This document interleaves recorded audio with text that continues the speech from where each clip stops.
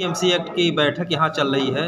BTMC act के खिलाफ बैठक चल रही है जो पटना में आपके। आप भी इसमें भाग लिए हैं। आप कहाँ से हैं? अपना परिचय दीजिए सो परिचय देते हुए। आ, आप क्या कहना चाहते हैं? मेरा नाम एडवोकेट रामेश्वर ठाकुर हुआ। वो मैं जन नायक कर्पूरी ठाकुर जी के निवास पर रहकर शिक्षा दीक्षा ग्रहण किए और आज सोशल मूवमेंट के तहत आज हनन हो रहा है बुद्धिज्म का। आज हनन हो रहा है वो बौद्ध महास्तूपों का जो आज जिस वंश से हम लोग हैं वो अगरचे उस वंशज के लोगों ने ही बुद्ध का जो प्रवचन देते देते स्वर्गवास हुए इंतकाल हुए और और उनके जाने के बाद उनकी वाणी को अगर हमारे लोग उसको इंगित को क्या कहते हैं सूचीबद्ध गेट बंद कर दीजिए गेट गेट।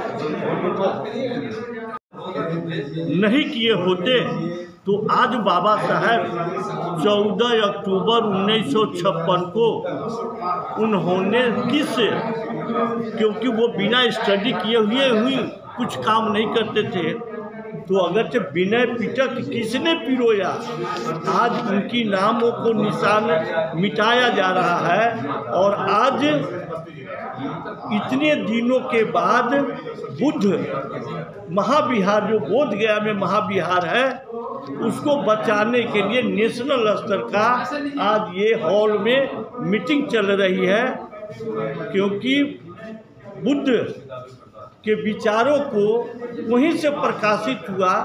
आज उसी लिए उस महाबोधित को बचाने के लिए आज जो भारत में B T M C act उन्नीस सौ उनचास रखा गया है। वो लीगल है कि अनलीगल है? इसीलिए हम उन अनुयायियों को जो उपाली भाषा, उपाली विनय पिटक के मानने वाले जिस वंशज के लोग हैं, उनके सदस्य को उस मेंबर में नहीं रखा जा रहा है।